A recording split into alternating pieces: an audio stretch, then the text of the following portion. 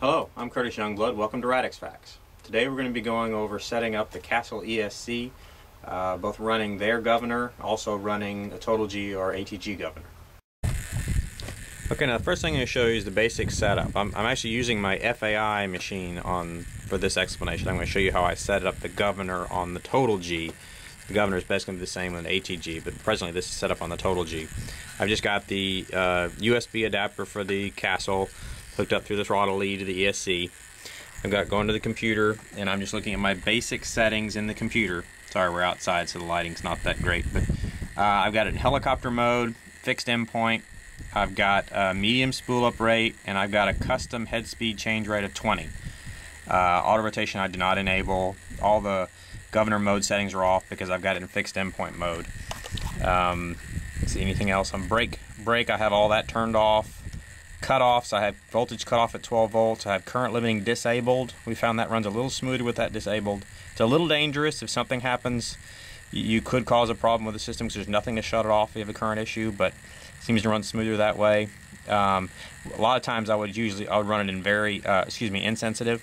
Uh, that's probably the safest place to run it. But with FAI, I go a little risky and make sure it's the smoothest. I have the cutoff type was a soft, but I think that's disabled at this point, anyways. Uh, motor, I have motor startup power medium, motor timing low. Direction is forward on this one just because of the direction I have it plugged in. The PWM rate I have at 16 kilohertz. That's with this particular motor, which is a Scorpion Limited Edition 520. Um, different motors like different rates, but this one seems to run the smoothest at that rate, but still seems to run cool. Uh, other settings, I have the beep turned off, you know, particular reason. Logging, I have it all on, but I really never use the logging. And this version actually has a 3.2 version. There's newer versions, 3.24, which I'm running actually on my 3D machines, which seem to be fine. I just haven't updated this one because it's running fine. And I've got the 160 ESC in this one. Uh, I've been running the 120s and the 80s, all which seem to be running fine. Um, so that's my basic settings on that setup. Now, the other important thing you need to do is to make sure to set the endpoints for the throttle. Uh, otherwise, the governing will not work properly for the total G to control the ESC. I'll show you that next. Now the next thing I'm going to show you is how to set the endpoints on your transmitter to make sure it matches what the ESC is expecting for the Castle ESC. To start doing this first, I, right now I have my radio on, but I need to go into my transmitter and adjust my travel adjust on my throttle so that both the low and the high endpoints are at like 30%, a really low setting. So I'm both down about 30. Now, the motor was not plugged in while I was doing this. Now what I'm going to do is go to high throttle and plug the motor in, and you should hear it, it won't activate because it's seeing a high throttle, but it'll it'll will know it's the high side of the curve, so you, you know you can now set it.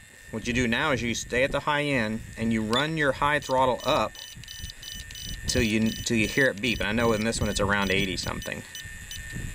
See, now the high end is set. Now I lower the throttle and it should beep letting you know it now knows it's at low but it's not low enough to actually activate.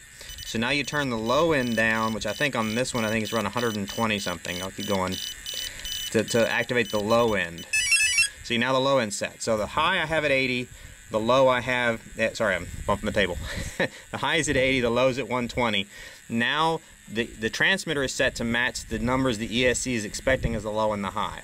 So that's now what you should be setting uh, when you go into the total G or the ATG. You can now set your low end at this low, then you can go at a high to set your high end. I won't move it to high stick because it'll move the, the, motor right now. But you can set your high end too, and you leave these like they are. So now the ATG knows what low throttle is and what high throttle is.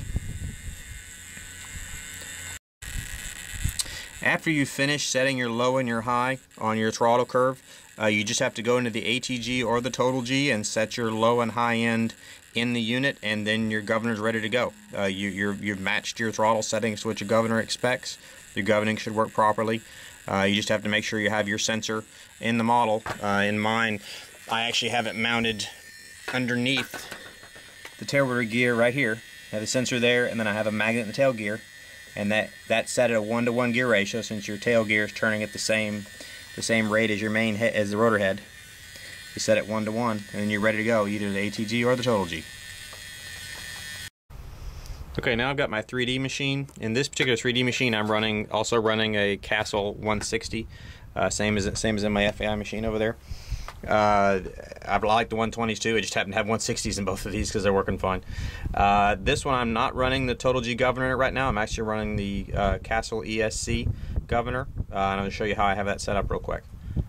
Uh, looking at the um, looking at the screen, uh, I've got the helicopter type. I got it in helicopter or vehicle type. Excuse me, I have a helicopter. Governor type or throttle type. I have in governor mode. I do have auto rotation enabled. I have the initial spool up rate custom at 4. I have the governor gain custom at 9. And I have the head speed change rate custom at 18. Uh, that that's for the auto rotations when you spool back up again. I found that was a good a good rate. Uh, so for, I set up the motor and gearing. This is the um, ENV. I've got the uh, Scorpion 520 limited edition in it. I've got the regular main 130 tooth main gear, and I've got a 13 tooth pinion. Uh, so on my gearing, I'm just 10 to 1. Uh, on KV motor, I'm 520. Magnetic uh, magnetic poles in the motor is 10 on this motor, um, so that's okay. I also fudged the voltage a little bit. I think, well, actually, no, I didn't. This one, that's actually why it's reading. I normally fudge this a bit. Instead of 3.7 on the voltage, I usually do a custom other, and I set it like 3.9 because that's a better average and then do OK. And then that, that gives me a little more accurate reading on what head speeds I can get. If you do 3.7, it'll usually give you an error. If you get above the, the 2000, 2100 rate, it'll say, hey, I can't run that fast, when in fact you can because the voltages will go that high. Uh, I have my, my hover initial below 50% at 1750, which is really slow. That's if I'm in a small area, I can hover slow. Uh, for 50 to 99, I have it uh, 2060, and then for uh, 99 and above, I had it 2083. Um, let me see, for brake, I've got all that off. Cutoffs, I have 12 volt uh, cutoff voltage, current limiting disabled, and cutoff type is soft cutoff. So like I said, I don't think that does anything. Uh, motor, I have low start power, I have low motor timing, I have direction to forward, and PMW rate of 16. Other, I've disabled the beeping. Logging, I've kind of turned off all the logging. I'm not sure it affected anything, but I just turned it off. Uh, software, this has the version 3.24 beta which seems to be working fine in this setup. Uh, that's really about it. Um, other than that, I don't really do anything special with the governor setup. I do set the low and the high uh, in the travel adjust in the radio, uh, just like I described for the FAI machine earlier. Just set the, the travels low at like 30, plug it in at high throttle, set turn the high up till it beeps, go to low, turn the low down till it beeps. Uh, that's your limits, and then that should be it. The governor should just work.